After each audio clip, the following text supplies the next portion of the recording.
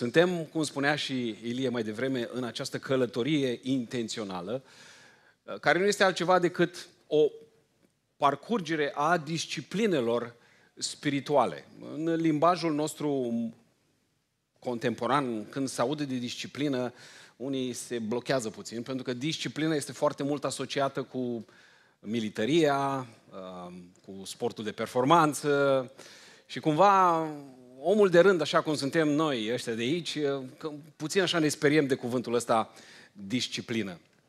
Însă știm și înțelegem din Scripturi că oamenii care au fost folosiți de Dumnezeu, oamenii care sunt binecuvântați, oamenii care reușesc zilnic, săptămânal, anual, să pășească cu Dumnezeu, intențional, în puritate, în curăție, în ascultare, sunt oamenii care au reușit să se disciplineze și să aplice aceste discipline extrem de importante.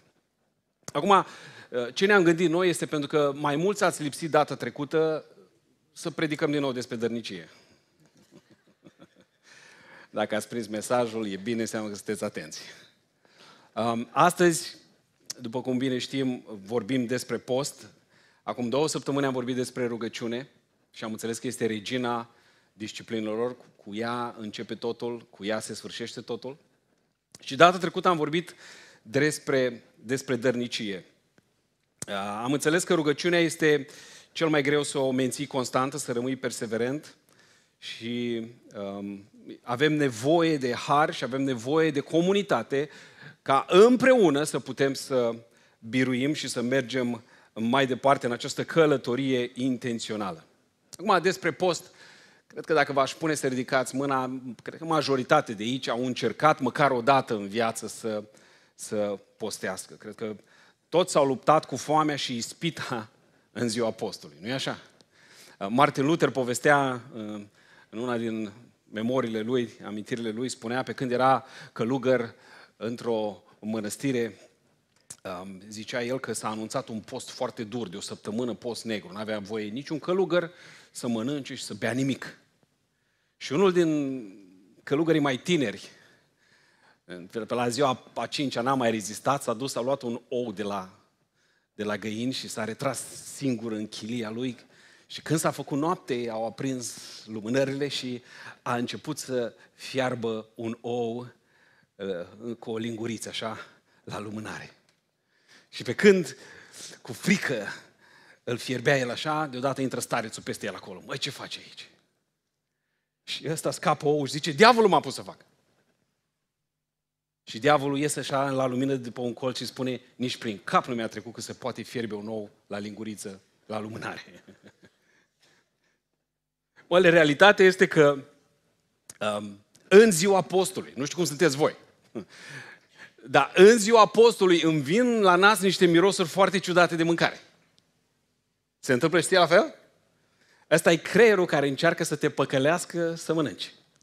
Creierul îți amintește de colțunașii bunicii, ciorba mamei, nu e așa? Cozonacii aburinzi de sărbători, clătitele, mie mi amintește de clătitele făcute de cela, nu? Nu se întâmplă la fel, ăsta e creierul care joacă feste să te păcălească să mănânci. Mai mult, parcă în ziua postului, toți prietenii care nu m-au căutat din ani de zile, mă caută să-mi dea o masă. Și se supără dacă refuz. Pentru că am înțeles că nu trebuie să facem public lucrul acesta. De multe ori um, văd lucrul acesta și văd că parcă în ziua postului traficul este mai greu, șoferii sunt mai enervanți, copiii mai gălăgioși, șefii de la lucru mai agasanți. Se întâmplă la fel? Cineva spunea că în ziua postului vedem cine suntem cu adevărat.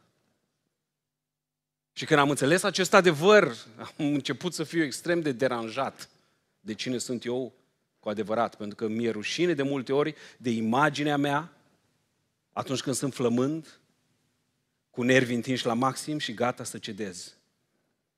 Și mi-e greu să cred și să accept că în cele mai multe zile acopăr ce sunt prin alimentație. Cu toate acestea, postul este o experiență unică, umilitoare, dar atât de benefică pentru suflet. Trupul se opune, dar Duhul se bucură la maxim. Celor ce nu au citit disciplinele spirituale al lui Richard Foster, vi le recomand, în special capitolul pe, despre post. Este cel mai bun care l-am citit vreodată. Dar de la început vreau să anihilez, să, a, să anulez un mit despre post, fiindcă trăim o vreme când tot mai des auzim despre acest concept și din ce în ce mai puțini oameni îl cunosc cu adevărat. Azi auzim despre post intermitent. Nu toți ați auzit. Dacă aveți rețele de socializare, peste tot post intermitent. Post cu suc de fructe. Post cu suc de legume. Post de detoxifiere. Astea sunt posturi pentru trup. Da? Deslăbire, regenerare, nu despre ele vorbim astăzi. Nu sunt specialist și nici nu mă interesează. Postul despre care vorbim astăzi este o disciplină spirituală. Este o anevoire a trupului pentru beneficiul Duhului. Este o negare voită, limitată în timp, a nevoilor trupești, pentru a ridica, pentru a exacerba, ajuta sufletul să se apropie de Dumnezeu. Și de-a lungul acestor 2000 de ani de creștinism sunt două extreme despre post. Una este extrema ascetică. Unii călugări asceți atât au postit că au și murit de inaniție, adică de foame, da? Uh, asta este o extremă. Dumnezeu nu vrea ca în ziua apostolului tu să pici pe șezut. Să-ți fie rău și să zică din cer, Niculiță, ce mândru sunt de tine că ai leșinat, să-i spar cap. Nu despre asta e vorba.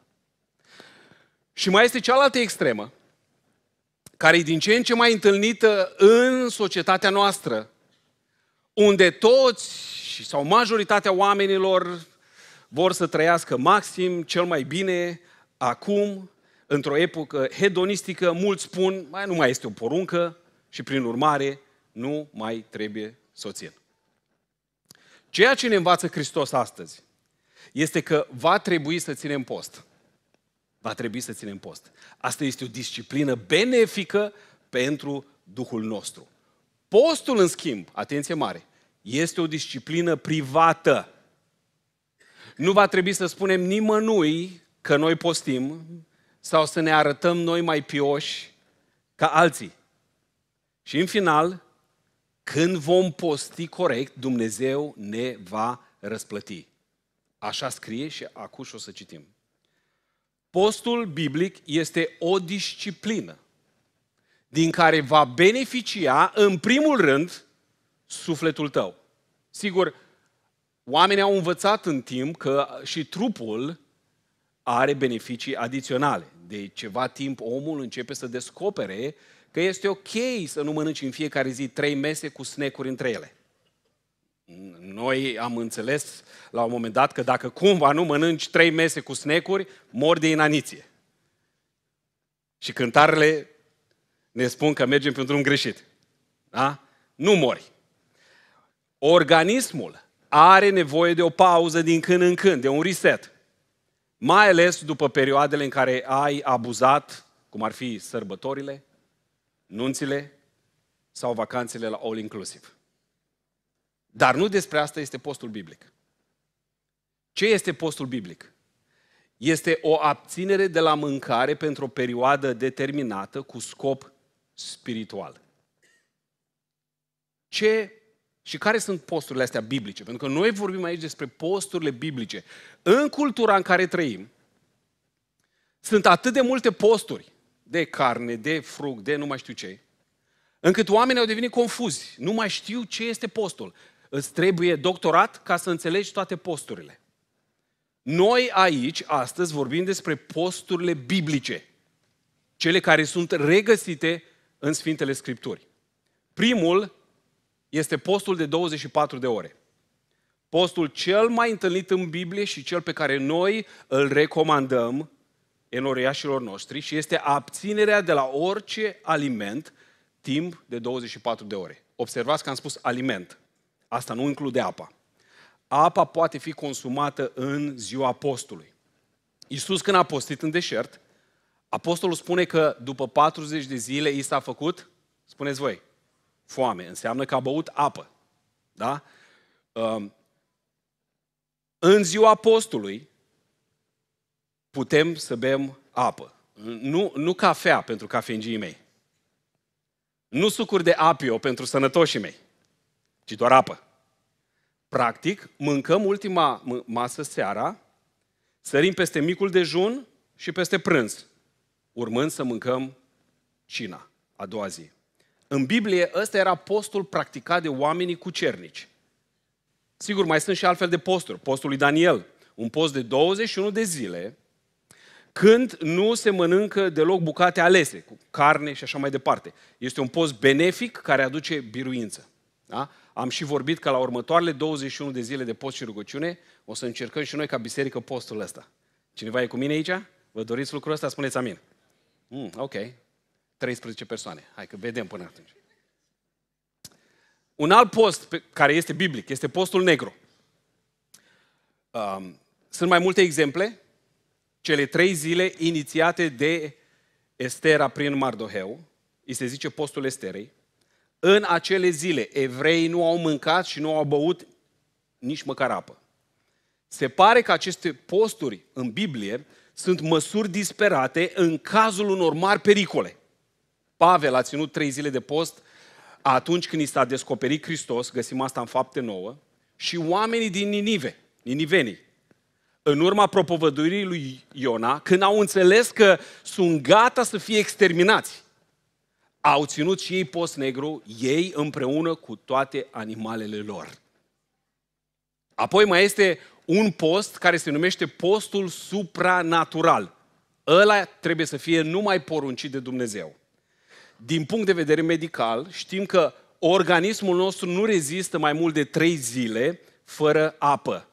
Așa că postul lui Moise și al lui Ilie de 40 de zile, care sunt găsite în Deuteronom 9 sau în Împărați 19, sunt considerate posturi supranaturale. Un astfel de post ține, trebuie ținut numai dacă primești o poruncă specială din partea lui Dumnezeu. Postul este menționat în întreaga Biblie în Vechiul Testament, da? și cât și în Noul Testament. Cu toate acestea, când creștinii discută despre post, se vorbește despre două pasaje. Unul din Isaia, din Vechiul Testament, și altul din Matei 6, pe care îl vom citi puțin mai încolo. Dar nici unul din aceste pasaje, atenție, nu oferă detalii despre cum să ne abținem de la mâncare. Mai degrabă, ambele mesaje din partea lui Dumnezeu despre post se concentrează asupra inimii noastre, asupra atitudinii cu care noi postim înaintea lui Dumnezeu. În Isaia 53, Dumnezeu vede națiunea uh, Israel, evreu, îl vede că se abține de la mâncare pentru o zi, pentru a căuta ajutor din partea lui, a lui Dumnezeu. Însă vede în același timp că ei sunt răi unii cu alții. Vede că angajatorul ține plata angajatului. Vede că fratele se ceartă cu fratele. Vede cum acționează violent unul împotriva celuilalt. Și prin aia Dumnezeu le spune lor, evreilor atunci, că El nu-și dorește ca ei doar să se abțină o zi de la mâncare.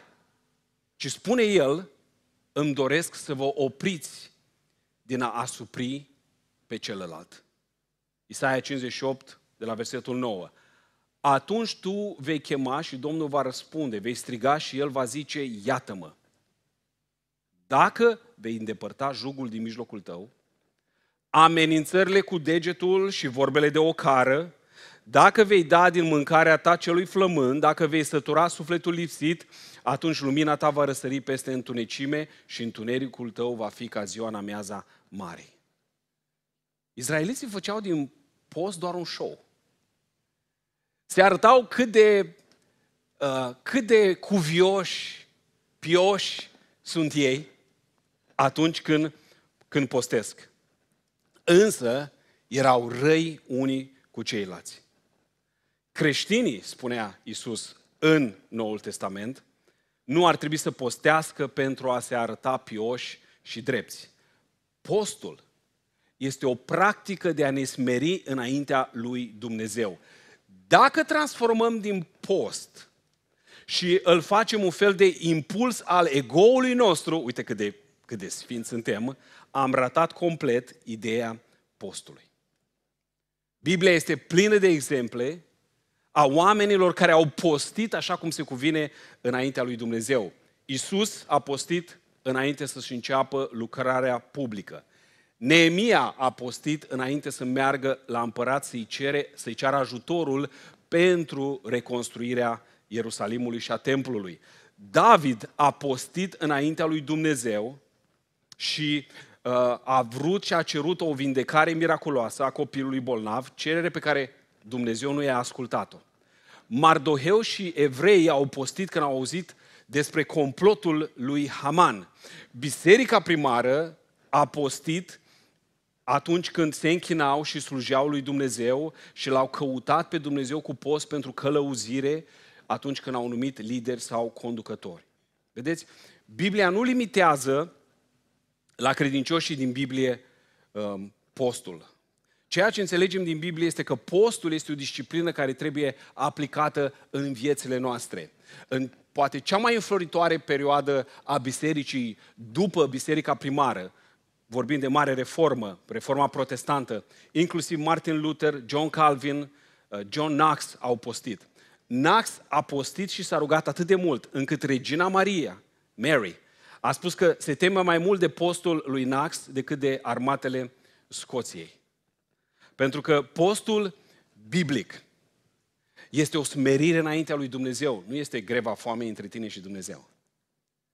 Unii dintre noi postez cu gândul că dacă vreau ceva de la Dumnezeu, postez și întorc mâna la spate. Adică îl convin că am, am postit, Doamne, trebuie să rezolv, trebuie să rezolv uh, problema mea. Dar Biblia spune că Dumnezeu stă împotriva celor mândri, dar celor smeriți le dă har. Atunci când postești așa cum trebuie, te smerești înaintea lui Dumnezeu.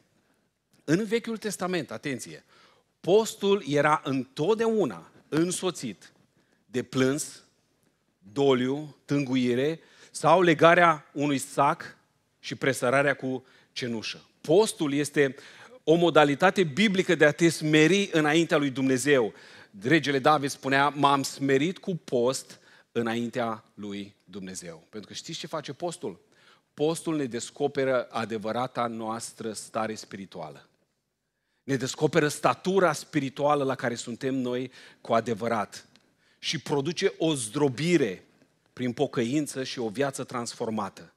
Încrederea, credința ta în Dumnezeu vor fi întărite dacă postești așa cum spune Isus. Dar este important să înțelegem că nu postim ca să obținem o, un răspuns la o rugăciune. Nu-L oblig pe Dumnezeu să răspundă. Mai degrabă, postul adevărat este un mijloc de a promova o abordare mai bună, mai umilă a rugăciunii. David, cum spuneam, a spus, mă smeresc cu post înaintea lui Dumnezeu. Așa că, haideți să vedem ce este postul cu adevărat. Postul este o disciplină privată a credinciosului. Despre ea vorbea Isus. Și spunea el, trebuie să o faci în ascuns, fără să atragi atenția asupra ta. Mamă, ce greu e când postesc. Așa, parcă la față mă, mă suc tot așa, parcă mă vede la un kilometru. Și poliția când mă oprește să-mi dea amendă, zice, asta postește, lasă-l în pace. Nu? Pentru că se vede pe fața noastră. Iisus spune cu totul altceva. A uitați ce spune în Matei 6, cu 16. Când postiți, să nu vă luați o înfățișare posomorâtă. Ce faci, frate? Cum ești? Măi, postesc. Oh, ok. Ți-ai luat răsplată deja. Mai bine te duci la KFC, că deja ai rezolvat-o. Nu? Degeaba te flămânzești. Zice, când postiți, nu vă luați o înfățișare posomorâtă ca fățarnicii, care sluțesc fețele ca să arate oamenilor că postesc. Adevărat vă spun că și-au luat răsplata. Ci tu când postești, ungeți capul sau dă-te cu deodorant pe sub braț. Aia ar trebui să faci zilnic. Uh, spală-ți fața. Asta e, asta e modalitatea de a, a te aranja, de a arăta prezentabil. Evrei în timpul postului, ei nu se mai spălau, arătau ca niște, da, ea parcă i-a luat de pe stradă. Ca să arate că ei să smeresc înaintea lui Dumnezeu. Și Hristos continuă așa și spune, ca să te arăți că postești nu oamenilor, ci Tatălui tău care este în ascuns. Și Tatăl tău care vede în ascuns îți va răsplăti. Ați auzit? Când postim așa cum trebuie. Când postul devine cu adevărat o disciplină privată între mine și Dumnezeu, Dumnezeu care este nascuns va răsplăti. Apoi postul poate să fie un eveniment public ținut cu biserica. La evrei, singurul post public impus în legea lui Moise era postul anual de ziua ispășirii, găsim în Levitic 23. Era o zi în calendarul evreiesc când poporul, da, ca, ca un trup, trebuia să pretreacă o zi de căință, de mâhnire pentru ispășirea păcatelor. Treptat au ajuns să aibă peste 20 de posturi, ca societatea noastră în ziua de azi, oamenii sunt com, com, confuz complet. Ce post? Care post? Ce am voie să mănânc? Îți trebuie, cum am spus, doctorat să înțelegi lucrurile astea. Dar se pare că în cadrul unui pericol iminent asupra țării, Israel veneau cu post înaintea lui Dumnezeu. Noi aici am experimentat lucrări extraordinare atunci când împreună, ca și comunitate, am postit înaintea lui Dumnezeu. Și am văzut cum Dumnezeu răspunde și Dumnezeu binecuvintează. Citeam tot în, în cartea lui Foster, când Franța a amenințat Anglia cu invazia în 1756, regele Angliei a cerut poporului să postească și să se roage timp de o zi. Și în ziua de 6 februarie, John Wesley, care era foarte disciplinat și ținea jurnalul în fiecare zi, a notat acolo în jurnalul lui. Ziua de post a fost glorioasă. Toate bisericile din Londra erau arhipline, toate, pe toate fețele era solemnitate, seriozitate. Cu siguranță Dumnezeu ne-a ascultat rugăciunea și va continua să ne dea pacea. Și ce credeți că s-a întâmplat? Chiar asta s-a întâmplat. Umilința din aceea zi s-a transformat într-o bucurie națională. Deci postul poate să fie o disciplină privată, dar poate să fie de asemenea și o chestiune pe care o facem împreună ca și comunitate atunci când stabilim zile în care stăm în post înaintea lui Dumnezeu. Dar de asemenea, postul este alinierea mea la ordinea spirituală.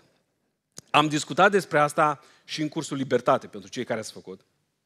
Și acolo era o întrebare foarte importantă, care mi-a deschis mintea din, în multe feluri. Zice acolo și este o întrebare pentru noi toți. Știai că ești o ființă spirituală, cu o experiență trupească temporară? Mai mult decât ești un trup care ai o experiență spirituală? Asta e o chestie foarte importantă. Și vorbea acolo despre faptul că partea cea mai puternică din noi trebuie să fie Duhul, nu trupul sau sufletul. Pentru că suntem formați din trei, trup, suflet și Duh. Da? Și centrul de comandă nu trebuie să fie în niciun caz trupul, în niciun caz emoțiile, voința, da? Uh, asta e sufletul, ci centrul de comandă trebuie să fie Duhul. În Geneza 2 cu 7 am învățat că Dumnezeu este Cel care ne-a făcut din țărână și apoi uf, a suflat duh de viață peste noi și omul, Adam, omul întâi s-a făcut un duh un duh viu. Și în 1 Corinteni 6 cu 19, Pavel spune, voi sunteți, sau trupurile voastre, sunt templul Duhului Sfânt. În Vechiul Testament, prezența lui Dumnezeu era acolo în templu, în Sfânta Sfintelor. Și știm că la moartea lui Isus s-a întâmplat un lucru extraordinar.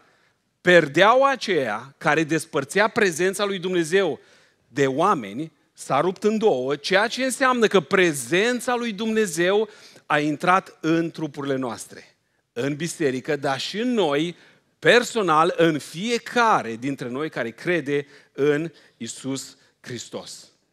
Ei bine, dacă ascultăm în mod constant de ceea ce ne spune trupul, pentru că trupul are și semnale pozitive și negative. Alea pozitive îți spune când trebuie să duci la culcare.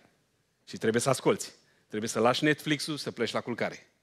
îți spune când trebuie să bei apă, când trebuie să mănânci, ce trebuie să mănânci. Trupul îți dă anumite semnale, dar în același timp, trupul poate să te îndemne să păcătuiești. Este o capcană pentru că ascultarea constantă de trup duce la o plăcere care nu satisface niciodată. Trupul îți spune, mai dăm mâncare. Și știi foarte bine că nu trebuie, că te-ai săturat. Uh, puțină mai multă mâncare, puțin mai multă pornografie, puțin mai mult drog. Și niciodată nu îi se îndeplinește pofta. Pentru că poftele carnale trezesc în noi o satisfacție care poate fi satisfăcută pe moment, însă curând pofta reapare și aduce o intensitate mai mare. Și acest ciclu se repetă continuu, continuu până nu este rupt prin puterea Duhului Sfânt. Ei bine, ordinea spirituală ne oferă un cadru de a trăi în voia lui Dumnezeu.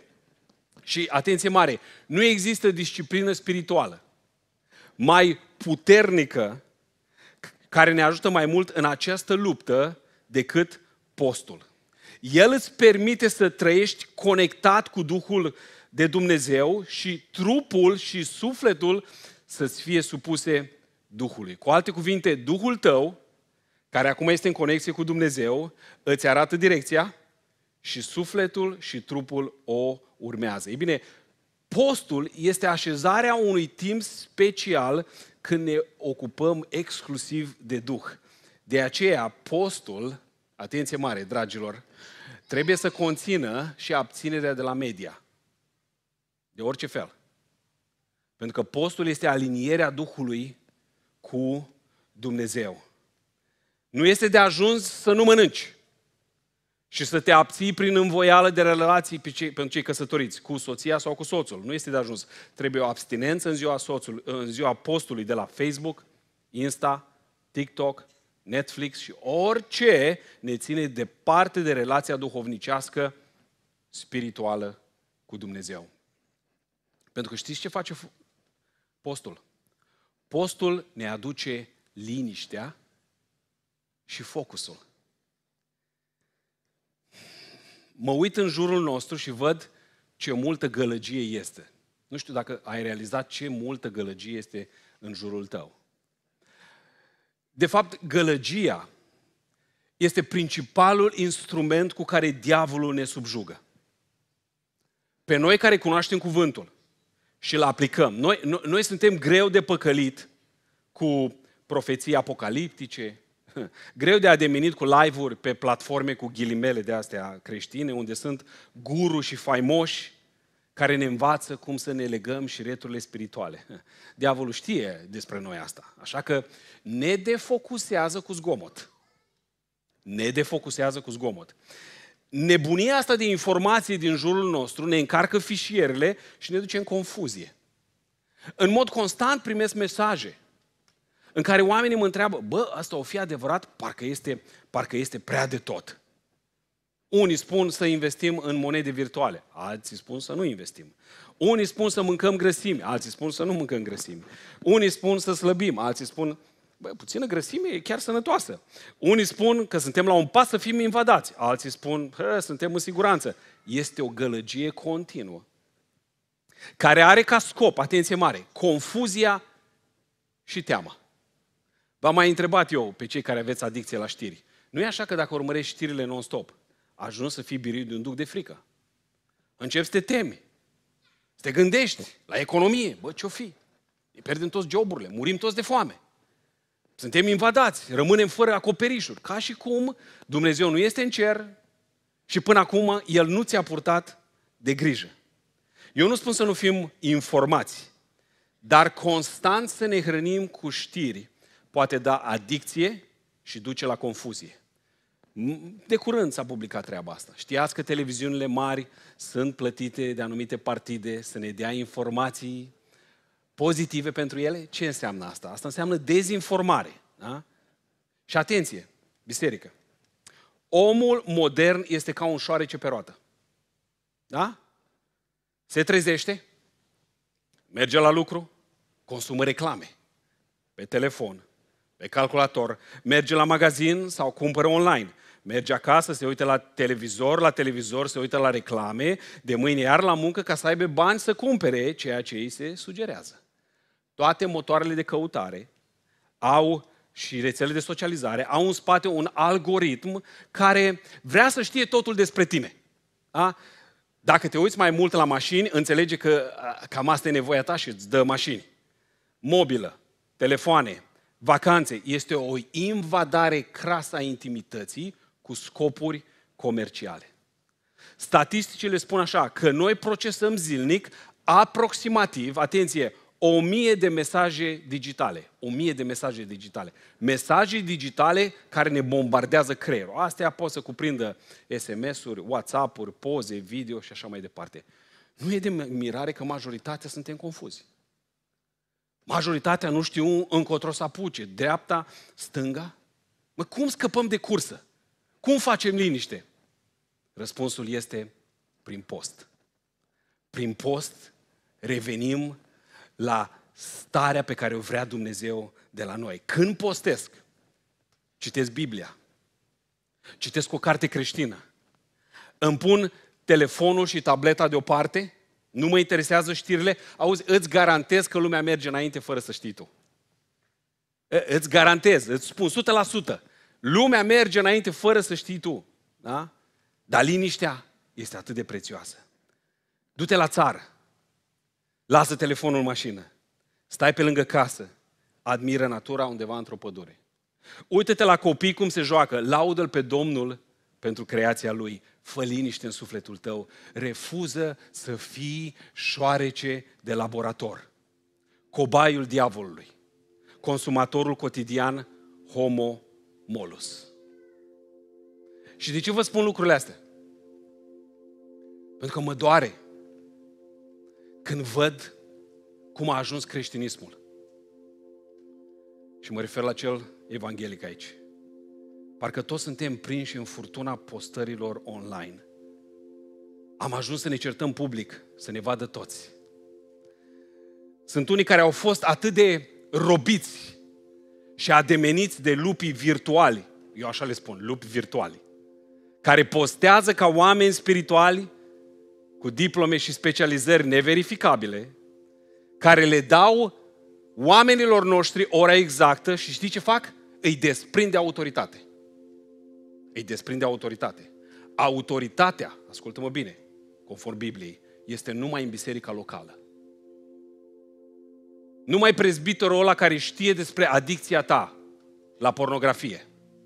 Numai prezbiterul ăla care s-a rugat cu tine la spital sau știe despre diabetul maicătii. Numai ăla poate să fie autoritatea ta. În niciun caz unul virtual, care îți dă o mulțime de gogoși. Așa sunt. Arată bine, sunt dulci, dar goale și îți fac rău. Și care te desprind de autoritate. O mulțime de creștini în zilele noastre au devenit creștini cu numele, pentru că nu mai sunt sub autoritate. Stau acasă și consumă mesaje pe internet. Nu există comunitate spirituală virtuală. Da, puteți să mă ascultați? Vă mai spun o dată. Nu există comunitate spirituală vi- uh, virtuală. Există o mulțime de aer cald virtual. Și mari specialiști care vin și îți dau cu părerile și fac vloguri de 3 ore, 3 ore jumate. Ce poți să spui în 3 ore jumate fără să spui prostii și minciuni? Nimic. Nimic. Biblia spune că ăla care vorbește mult spune și multe gogomănii. E biblic. Și o mulțime dintre creștinii noștri astăzi sunt intoxicați cu zgomot. Da? Nu există comunitate virtuală biblică. Sunt consumatori păcăliți și aiuriți sau creștini care stau sub autoritatea lui Dumnezeu și a bisericii locale. Creștinul este chemat să fie diferit, să fie lumină. Când a izbucnit războiul, s-a văzut asta clar. Toți cei care nu aveau o relație vibrantă cu Dumnezeu, au fost, care sunt, erau asurziți de zgomot, au fost blocați, paralizați, confuzi. Și nouă ne-a fost o teamă că suntem oameni. Dar nu eram paralizați și confuzi, ne-am apucat de treabă. Știm că Dumnezeu ne va purta de grijă indiferent de circunstanțe. Amin? Ei bine, pentru a fi gata de orice, trebuie să facem liniște. Să ne concentrăm pe ceea ce este important. Să rezistăm trendului modern de bălăcărire pe Facebook. Oameni buni! Că se uită oamenii ceilalți la noi e una. Dar Biblia spune că este un nor de martori în ceruri care se uită la noi. Every day, în fiecare zi. Ce faci tu? Cum de ai tu timp să stai acolo și să scrii, să citești toate comentariile și să îți dai și tu înțelepciunea ta acolo, ca și cum asta contează așa de mult. Inginerul de la Apple, care a făcut designul la iPhone, Sir Jonathan Ive,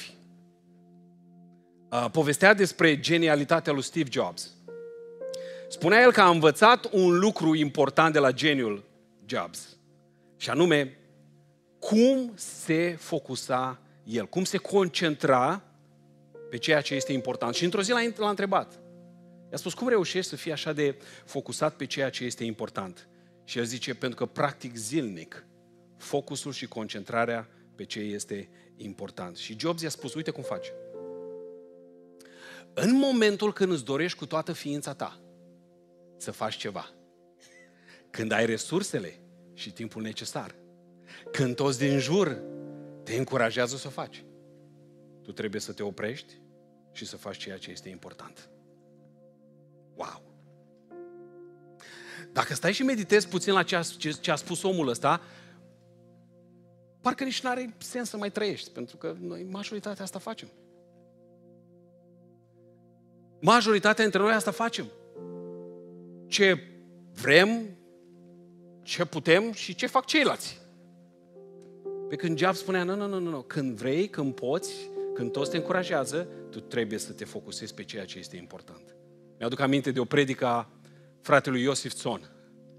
Spunea el și avea aceeași idee ca Job. Spunea el despre când erau episoadele de la Dallas. Nu vă pun să ridicați mâna cine știe despre ce e vorba, că cred că suntem puțini aici. Uh, mulțumesc. Marini a ridicat mâna. Suntem cam acolo. Uh, eu nu mai țin minte exact uh, că, nu, eram mai mic, dar țin minte când erau uh, episoadele la Izaura. Mai știe cineva cu Izaura? Bă, rămâneam în parc cu artexul meu singur.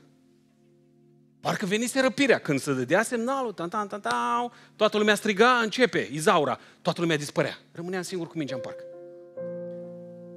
La Dallas era la fel, pentru că nu era, nu era Netflix, era unul singur pe zi, nebunie sau o zi, nu mai știu. Și povestea Iosif Țon așa. Erau toți prietenii invitați la noi acasă. Aveam televizor color. Toți prietenii și neamurile noastre. Și discutam despre ce a fost, cum a fost.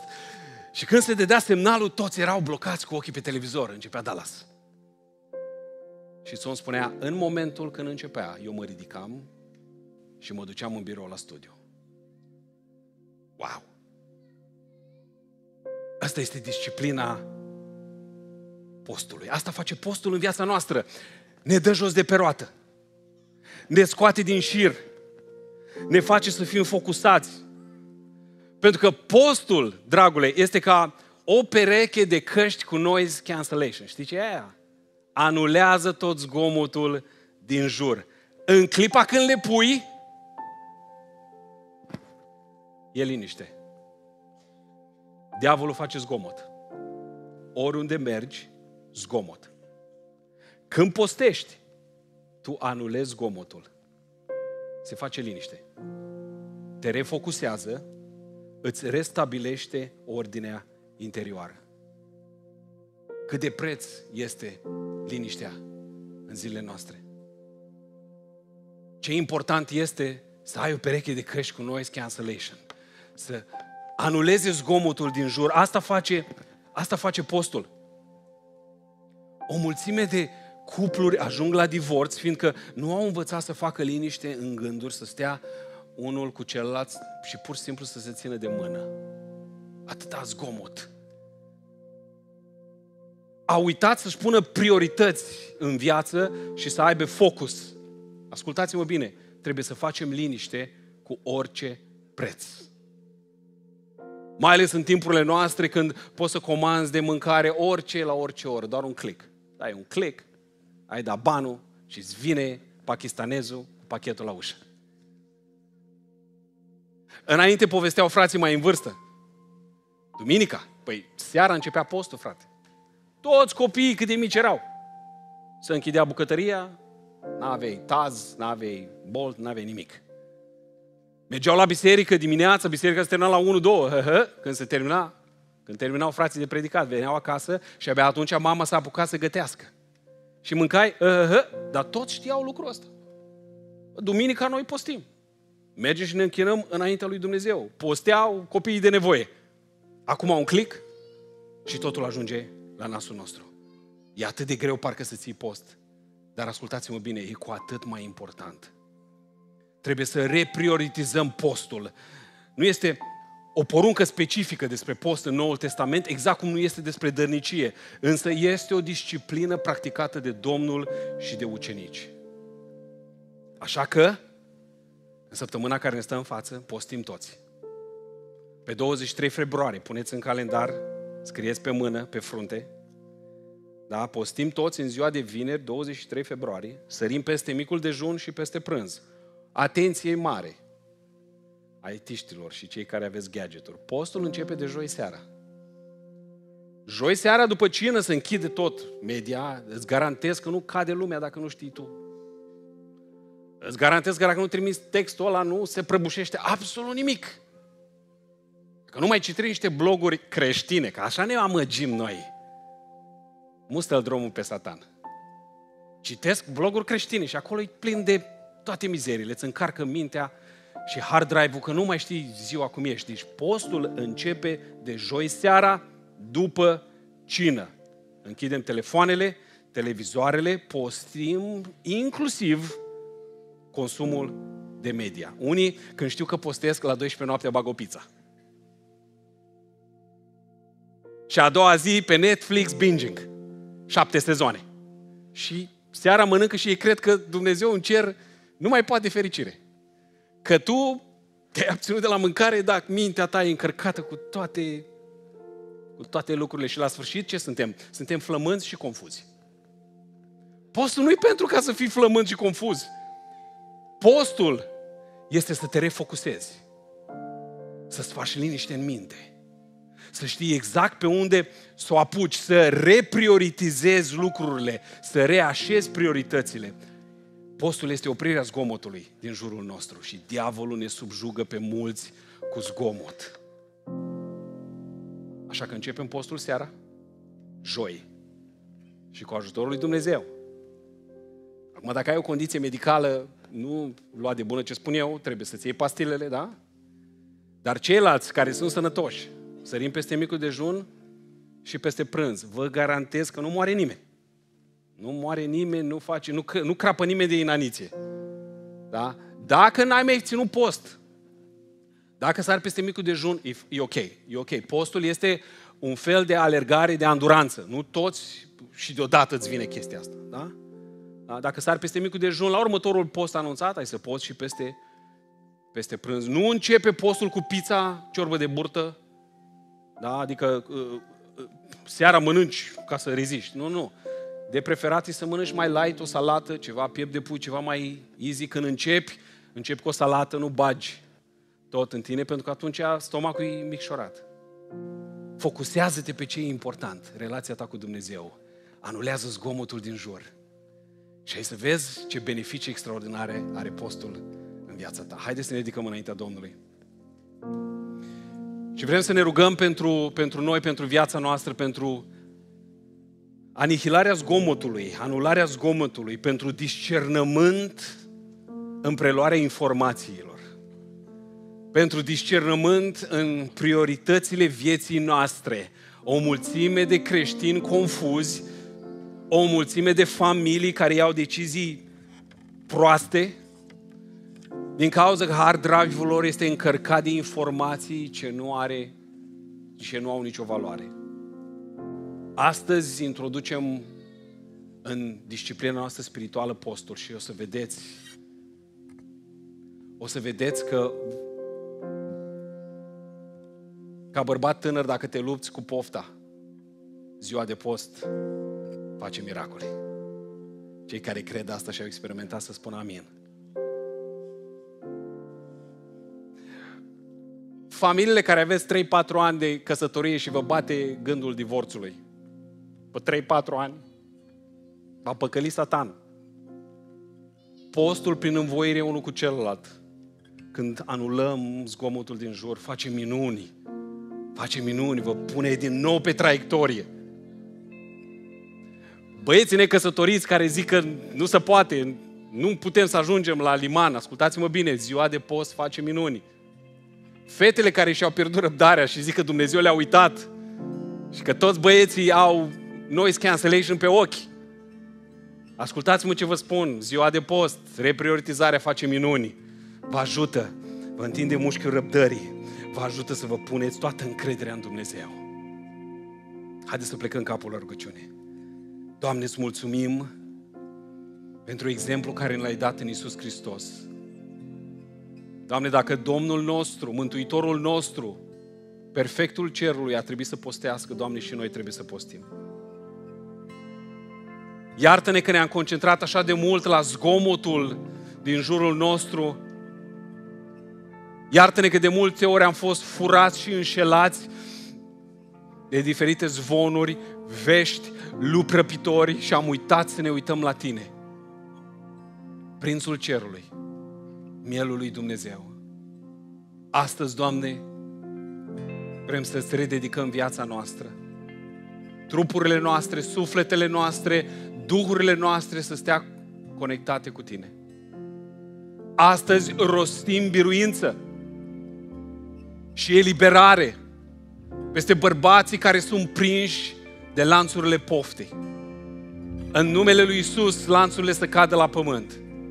În numele lui Isus, minciunile diavolului, Doamne, să se risipească din mintea lor, din inima lor și să se întoarcă, Doamne, la Tine cu pocăință.